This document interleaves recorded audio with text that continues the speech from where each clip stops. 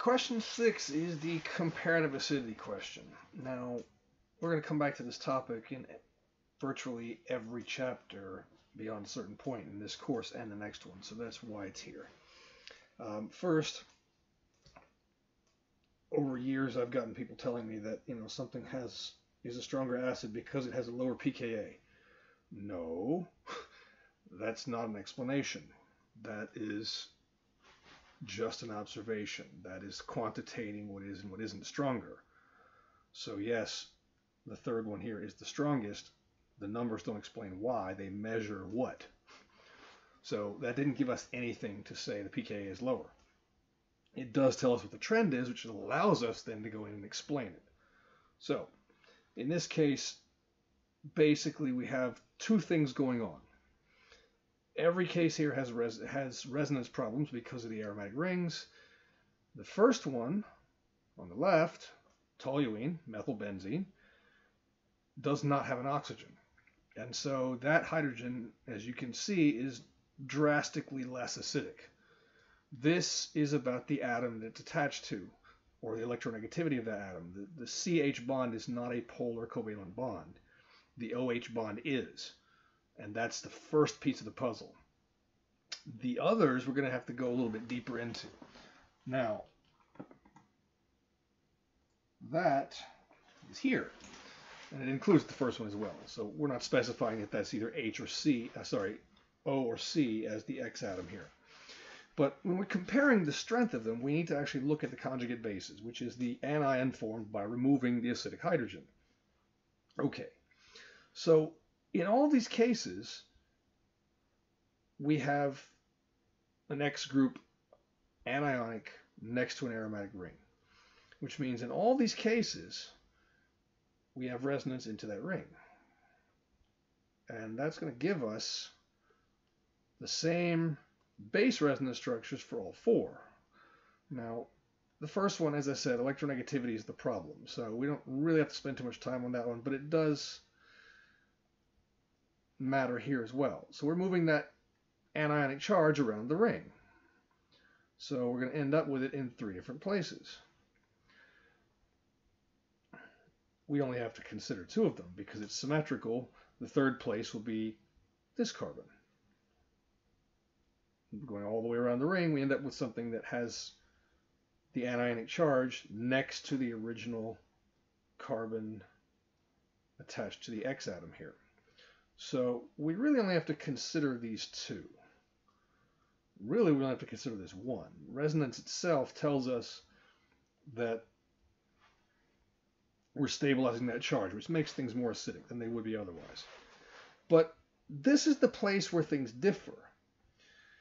If you look at the examples, I have toluene, which is about the atom where the hydrogen is attached. We can ignore that one for the moment.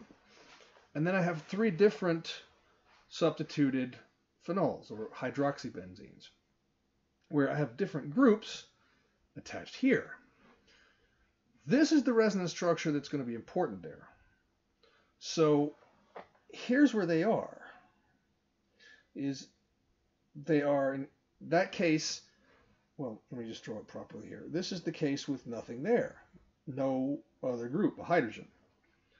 So that negative charge, that resonance structure has no additional interactions to worry about, good or bad. The next one is nitrobenzene, or nitrophenol, where now I had this there to begin with.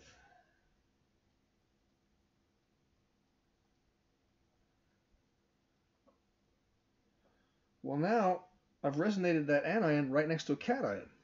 That's a good thing.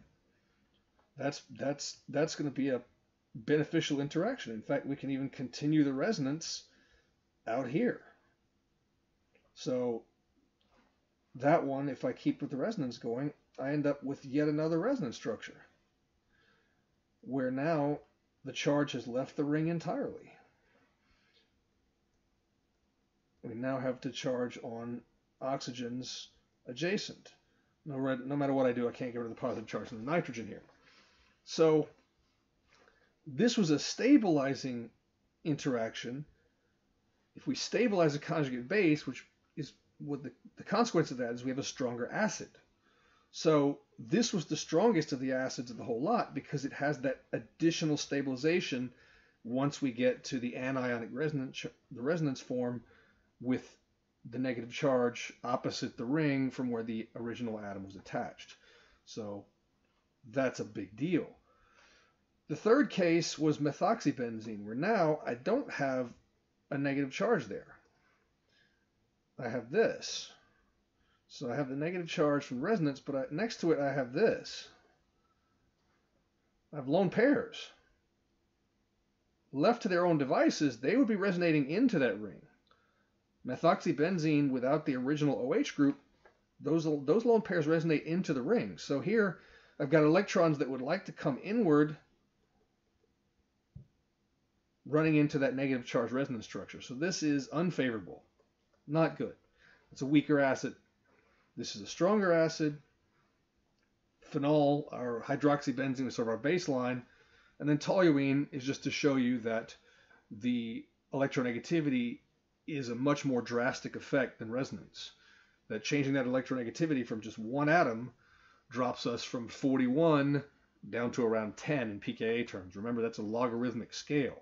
So that's a difference of 10 to the 31st times. Um, so it's a massive, massive difference because of that.